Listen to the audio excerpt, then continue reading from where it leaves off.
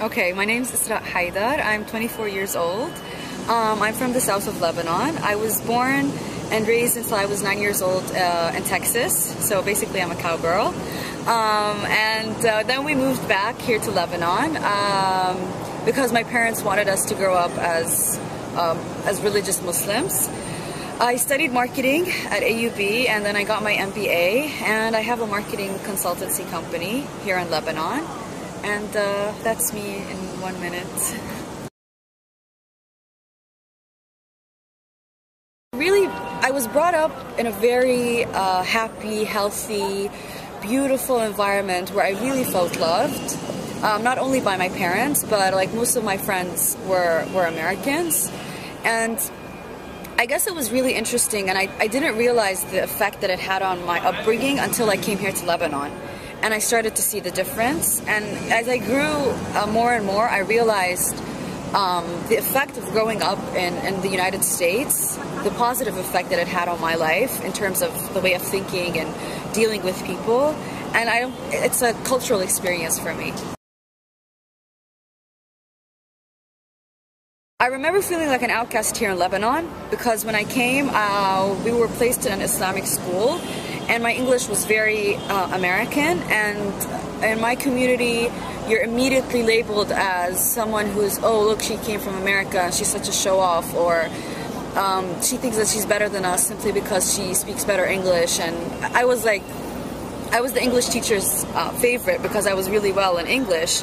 But I was even from the teachers from the other um, subjects, I felt like I was an outcast. And in the playground, like for one year, I would be all alone simply because I simply spoke, spoke differently, and my Arabic was a bit funny. So I never felt that in America, which is quite interesting. I only felt it when I came here, and I was I was part of my community. I look like them, I dress like them, I eat like them.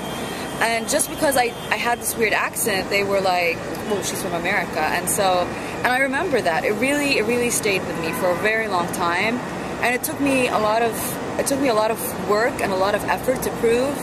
And I was I was nine or 10 years old, so you're, you're not very mature at that age.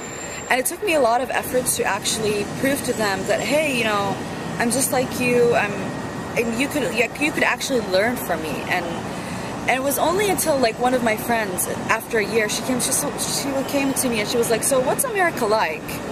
I was like, finally, somebody's like asking me where I come from and they can, you know? A lot of people tell me, oh, so you're American or are you Lebanese? I usually answer by saying I'm Lebanese, and I truly feel that I'm Lebanese. Um, I do feel that I owe America something. I do feel that I owe it uh, the education, the, the lifestyle, the, the way of thinking, the mentality. And I don't associate myself as a pure American or a pure Lebanese. I simply say I'm a Lebanese who was born and raised in America for nine years. Um, it's really, really hard in identifying yourself, like your true identity, and it's an issue that we have to deal with constantly. Because if you go to the village, people label you, oh, look, that, there comes the American, you know? And then you're trying to look, no, I'm, I'm part of this community. And then you go back to America, and they're like, oh, here comes the Arab.